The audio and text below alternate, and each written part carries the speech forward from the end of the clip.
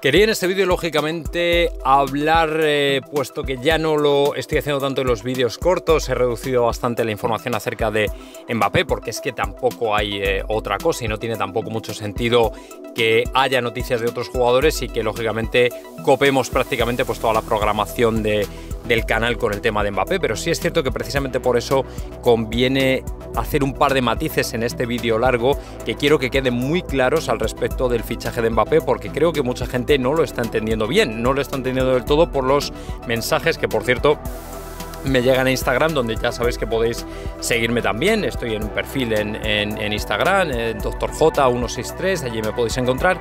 Y por supuesto, sois bienvenidos a mandarme cualquier pregunta, mensaje. Y por supuesto, si tengo tiempo, que normalmente siempre tengo tiempo para responder, eh, pues eh, os voy a responder con todo el, el, cariño del mundo. Y por supuesto, dándos las gracias por, por participar y ser tan tan activos y, bueno, hay veces que no me, no me da tiempo a responderlo todo, hay veces que bueno, leo algún mensaje también que, que, se responde solo, o sea, por eso no, no respondo, pero bueno, en general la verdad es que cuando hacéis alguna pregunta y tal, siempre me gusta estar ahí para responderlas, ¿no? Y precisamente al respecto de Mbappé, eh, veo alguna cosa que a alguno de vosotros ciertamente os, ha, os tiene un poco atemorizados, o os asusta o no entendéis bien, y quiero clarificarla, porque creo que es importante que, que pongamos los puntos sobre las sillas cuando se trata del tema de Kylian Mbappé. Y por eso voy a dividir el vídeo en dos partes. Una, lo que comentó Eduardo Indayer, que es un poco la, inercia natural de las cosas, es decir, el hecho de que, lógicamente, eh, una posible llegada de Cristiano o de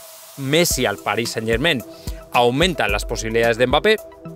Y número dos también, la noticia que también he compartido con vosotros acerca de que los eh, compañeros de, de Mbappé eh, bueno, pues eh, ya saben su decisión de, no renovar, pero también saben que el jugador se quedará hasta 2022, ¿vale? Jugando en el, Paris Saint Germain y aquí es donde viene un poco la historia, porque muchos de vosotros decís, pero bueno, ¿cómo se va a quedar hasta 2022? ¿Cómo puede ser que no venga? Tal y cual. Bueno, os voy a explicar, ¿vale? Eh, voy a empezar comentando un poco lo de Eduardo Inda, que decía que efectivamente, pues lo que ya sabemos, ¿no? Si efectivamente el PSG es capaz de, poner, eh, o de traerse, mejor dicho, a Cristiano y a, y a Messi, o a Messi, eh, lógicamente hay más posibilidades de que Mbappé venga al Real Madrid y que el PSG, lógicamente, esté más abierto a negociar. Bueno, yo creo que esto es una, una perogrullada. Evidentemente, si ellos tienen un recambio, evidentemente van a estar mucho más abiertos a negociar por Mbappé antes de tiempo. Lógicamente, daos cuenta, ya lo he comentado muchas veces, que Alkelaifi es una persona que tiene mucha presión a su vez. O sea, no se trata de que Alkelaifi es el malo de la película, no. El problema es que Alkelaifi recibe mucha presión de Qatar porque le han puesto ahí. O sea, no, no veáis al Kelaifi como el villano, el bandido, el malo, no, al Kelaifi es otro títere puesto en el Paris Saint Germain por Altani. ¿Me entendéis? O sea, al Kelaifi tiene las manos atadas exactamente igual. Él no puede hacer ver o quedar de cara a los que le pagan, a Qatar, concretamente al Tani, al jeque de verdad, al que vive en Qatar, no puede quedar ante ellos como que ha perdido al mejor jugador del mundo, ni gratis, por un lado, y ni siquiera aunque le paguen. Entonces, o les viene con otro nombre mucho más importante y mucho más grande, o por lo menos suficientemente comparable a Mbappé, o si no, le van a, colgar. ¿Me entendéis? Le, van a forrar a palos. Porque van a decir, pero bueno, tú pero tú de qué vas? Te ponemos aquí enfrente de, un equipo, del, del, mejor equipo de Francia, ¿vale? Te ponemos no sé cuántos chorros de millones para que fiches lo que no hay en los escritos. Y ahora vemos que Mbappé se nos va al Real Madrid, pero tú eres tonto, básicamente es lo que le van a decir.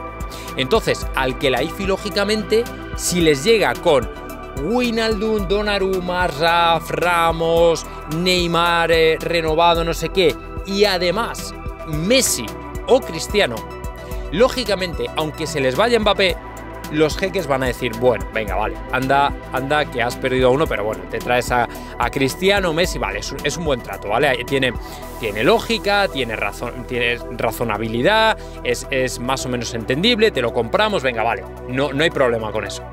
Pero claro, si tú no les llegas con algo así, evidentemente te, van a, te van a poner la cara como un mapa. Porque aunque Cristiano y Messi sean ya de una cierta edad y ya estén entrados en años y tal y cual, lo cierto es que tienen un palmarés que, bueno, pues de alguna manera te hace pensar que, son aceptables para tu proyecto, que son aceptables para el equipo, que además concretamente Cristiano tiene todavía cuerda para rato, Messi en mi opinión creo que la tiene también y además jugaría con Neymar, o sea, yo creo que realmente habría posibilidades de, que se lo compraran y, de que lo aceptaran. Entonces, si efectivamente la, la oferta que han puesto sobre la mesa por Messi va adelante, porque parece que por Cristiano de momento no hay, pues oye, encantados y que vaya Leo Messi al PSG y que se venga Mbappé al Real Madrid. Eso por un lado. Y luego, la parte 2, la segunda parte de este audio, es precisamente la de si Mbappé se va a quedar hasta 2022. No. No. A ver, entended esto en su contexto. El único motivo por el que Mbappé ha dado a entender, y de ello se han hecho eco los diferentes medios en Francia, es que va a cumplir contrato, pero él realmente no quiere cumplir contrato. O sea, él realmente se quiere venir a jugar ya al Real Madrid. Pero ¿qué ocurre? Si le dice al PSG por un lado, no voy a renovar, y luego además me quiero ir al Real Madrid, automáticamente ese jugador entra en rebeldía. Automáticamente ese jugador ya es un problema para el Paris Saint Germain y automáticamente el Paris Saint Germain ya tiene un argumento para mandarlo a la grada y forzarle a quedarse y, es, y empezar una guerra, que es en definitiva lo que no quiere el Real Madrid y por supuesto tampoco quiere el jugador. Es el extremo a evitar, la confrontación, el enfrentamiento, la guerra, porque entonces sí que le van a hacer la vida imposible. Pero si él da a entender que bueno, no voy a renovar mi contrato, pero como soy un caballero, como no os quiero putear, no os quiero hacer ninguna eh, jugada ni apuñalaros por la, por la, espalda, yo no digo que me quiero ir al Real Madrid, yo no digo que me voy a juntar al Real Madrid, yo no digo que voy a unir mi destino al del Real Madrid, no, simplemente no quiero renovar, punto. De esa manera, el Paris Saint Germain no tiene argumento lógico ni de peso ninguno para mandarle a la grada, porque además, dejadme que os diga otra cosa, si el PSG sin razón ni argumento, mandar a la grada a Mbappé o le implementar algún tipo de bullying o cosas así. Mbappé se podría ir a la FIFA denunciar y la FIFA podría liberarle de su relación contractual con el Paris Saint Germain. ¿Entendéis? Podría liberarle perfectamente. Entonces, la más inteligente estrategia es la que está llevando a cabo Mbappé, que seguramente le habrá venido del Real Madrid. ¿Entendéis? Seguramente le habrá venido de Florentino, que sabe más que nadie en todo este tema, y le habrá dicho no. Tú no te enfrentes, sé prudente, sé tranquilo y deja que las cosas sigan su curso. No digas lo que quieres hacer, no desveles tus cartas, no las pongas boca arriba, que no te las vean, guárdalas hasta el último momento.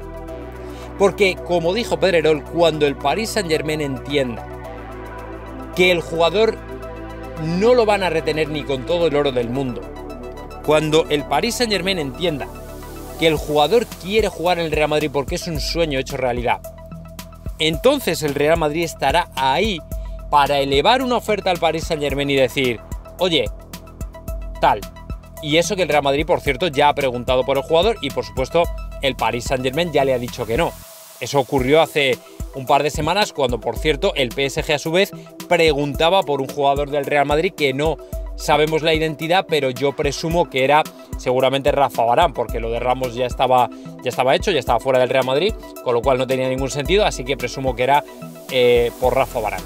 ¿Me entendéis? Así que los movimientos que había que hacer ya se han hecho y de la mejor manera. No se va a malograr el plan por ningún motivo. Y nadie se va a precipitar y nadie va a hacer mal las cosas, incluido Mbappé. Y Mbappé va a estar tan tranquilo y él sabe perfectamente, sabe perfectamente que quiere jugar en el Real Madrid este año, no quiere esperar al año que viene como ninguno de nosotros, pero el problema es que no lo puede decir, no puede aventurarse a llegar al Paris Saint Germain y decirle, sí, mi plan es irme al Real Madrid, no, porque entonces le van a hacer la vida imposible, le van a obligar a cumplir contrato y entonces es cuando vamos a tener el problema. Vamos a ver a un Mbappé en el Paris Saint Germain toda una temporada y encima sin jugar.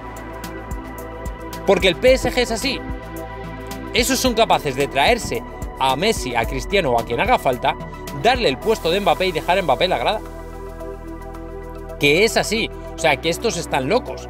Daos cuenta de que cuando ellos tengan jugadores suficientes que les pueden hacer ese papel, ¿qué os creéis? ¿Que no van a prescindir de Mbappé? Claro que pueden. Y, y dices tú, bueno, ¿y qué necesidad hay de esto? ¿Por qué no lo dejamos de la otra manera? O sea, sería mucho más interesante para todas las partes, ¿me entendéis?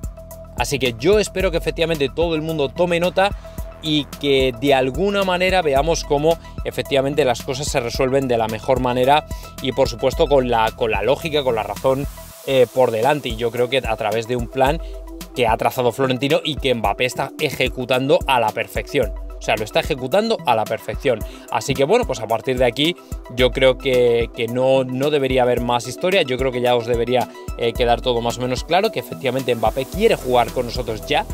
Se quiere unir al Real Madrid ya pero que lógicamente este tipo de cosas pues llevan su proceso, llevan su curso y no podemos tampoco adelantarnos a los acontecimientos y arriesgarnos pues a, cagarla en el último momento y más cuando se están haciendo las cosas en mi opinión bastante bien. Así que nada más amigos, dadle like al vídeo si os gustó, comentad lo que queráis y por supuesto suscribiros a mi canal Dr. J Fútbol